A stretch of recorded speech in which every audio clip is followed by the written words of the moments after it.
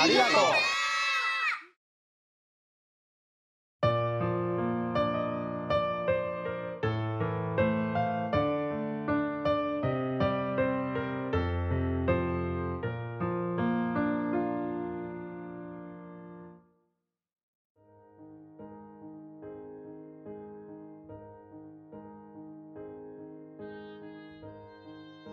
震災当時はうんと第二原発のうちの会社の事務所にいて、えー、それから避難子供が中学校にいると,、えーと、と父兄が迎えに来ないと返せないということでその時に車を置いてきちゃったんで自転車で双葉中学校に行ったところがある。子どものあ、うん、無事確認して、えー、すぐに消防の方に行って小学校とかに避難してた人もいたんでそこでなんか物資を届けたり毛布とか道路がだいぶダメになってるところもあったんで交通整理の方に回ったり次の日に避難命令が出てその時に消防のは解散という形で、えー、みんなそれぞれ避難していったっていう。俺車なかったんで友人のお母さんの車。借りて、えー、自分の家族を乗せてなんかすぐ帰れるんだろうなっていう話もあって近いとこ近いとこでちょっとあんま遠く行かずにっていうことで移動した。で多分町は川俣町。の方に多分バスで移動して避難してる状況はあったんだけどまあすぐだろうなということで、えー、ちょっと小高に行ったりで小高行った時に、えー、半径何メートルのの方は避難してねっていうふうに再度あったんで次は原町。で結局そこもダメで最終的に相馬のフローラっていうとこがあるんだけどそこの駐車場で一晩待機したっていうか避難したっていうか。その後次の日が多分原町道の駅の方に避難を移してそれでまた1号機が爆発したとかっていうことでやっぱほん本当最終的に遠くに避難しなくちゃいけないなっていうことでちょっとその時ガソリンもあんまりなくてでスタンドも閉まってたりガソリン入れることができなかったところもあって俺は相馬の方に向かって親戚宅に1週間お世話になってそんなにも入れない状況もあったんで次は仙台に行ってうちの姉のところにお世話になった。でその時双葉町の方が埼玉スーパーアリーナに移動をし始めたところがあってちょっと俺の方もあの子供の学校だったりの問題もあるんでやっぱ町と一緒にいた方がいいという状況でそこからスーパーアリーナの方で、えー、交流した。まあその時はもう結構な人がスーパーアリーナにいて消防だったり同級生だったりいろんな人がこう集まった状況でボランティアの方がいっぱい来てくれて食べるものをあと毛布一時過ごせるような状況を作ってもらった。でそこから今度双葉町があの記載高校に避難所を移すということで町と一緒に移動した。で記載高校は体育館でいる状況があってまあそこにもたくさんのボランティアの方が来ていてくれていろいろ助けてもらってた。4月になってちょっと仕事の方も戻らなくちゃいけない状況が発生したんで俺の方はいわきの方に一度戻って、えー、仕事を再開した。うちの会社の方も旅館なんかをあのちょっと借り上げして、えー、そこを宿として仕事に帰ってた。今度はいわきの南台のところに仮設ができたということでで俺もいわきの仕事だということでやっぱ家族もこっち行ってもらった方が都合がいいんで仮設にみんな呼んで、生活したと。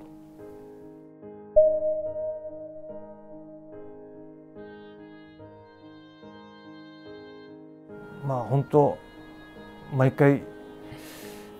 いろんな人に助けてもらってたなっていう動く足がないっ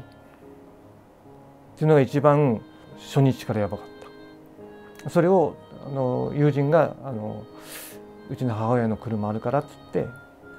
貸してくれたそこが俺の避難の経路のスタートだった。それがなければ多分また違った避難先をたどってたなっていうのがあってまあそこは本当感謝、まあ、いつまで使っててくれてもいいよってこう言ってくれた、まあ、友人だったりその母親だったり本当そこはずっと感謝の気持ちでいっぱいで。と助けられたね。避難させてくれた親戚の家だったりまあそこの家のお父さんもお母さんももう亡くなっちゃって感謝の気持ちはいっぱいあるけどももうもう返せない状況もあるんでまあそこにはまだ息子だったり住んでるんでその人に対しての感謝をずっと忘れずにずっとやっていきたいなと。まあ本当に何もない状況で助けてくれてありがとうっていうのがもう行くとこ行くとこでそう感じてた。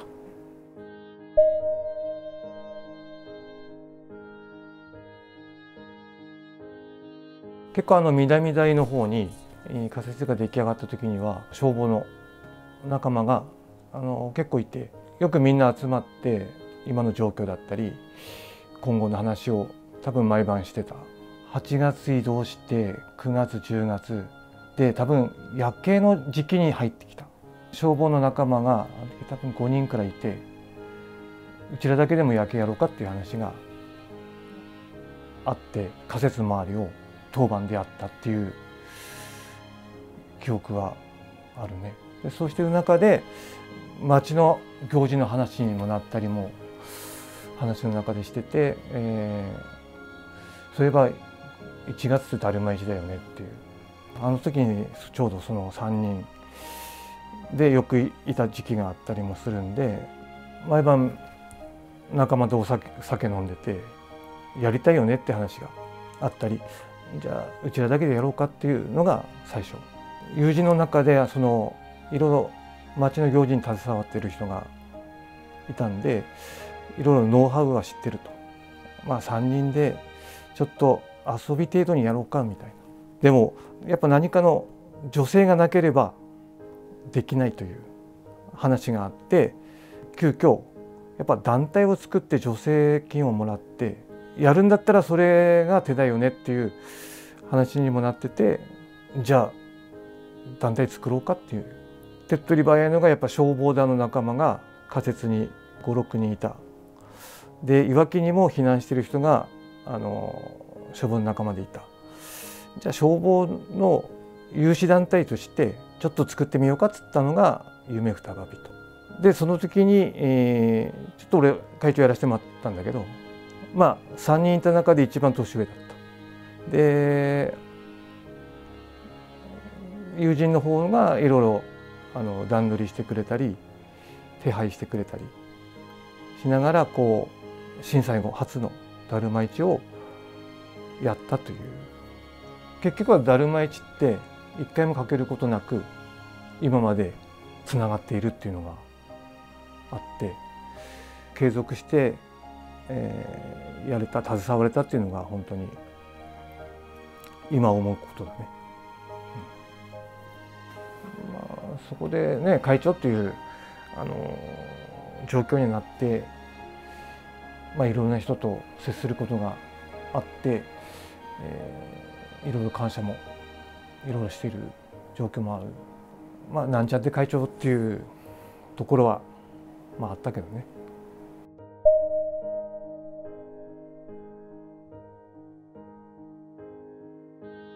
今もこう落ち着いた中でこれからは自分たちが困ってる人を助けてあげたいなっていうところは重々思ってて冬はだるま市で夏は盆踊り。何がしたかったかっていうと双葉町の人が会える場所を作りたかった。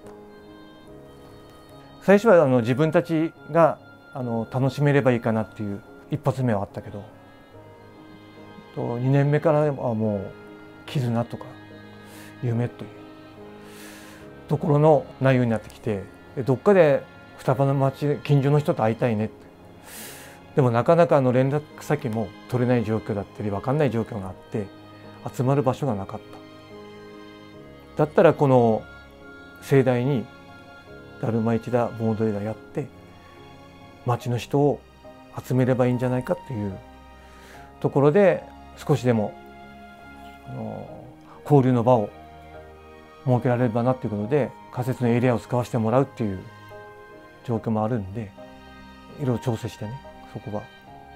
やらせてもらった。でその交流まあ双葉町の交流もあるしで地域住民の方も今度は何をやってるんだろうなっていう。ところであの時多分チラシも回し作って住んでた南台のエリアに配ったりなんだりして地域住民の人も一緒に混ざってもらってた。なんかその時は大きなことやってるなっていう感覚になっていったねあの時は。まあ地域住民の人は楽しいね。あのまあ双葉町の人は懐かしいねっていう。なんかそんなあちこちでこう耳にして、えー、楽しんでくれたりあの感動してくれたり。すごいあの時は本当良かったなっていう。気持ちだね。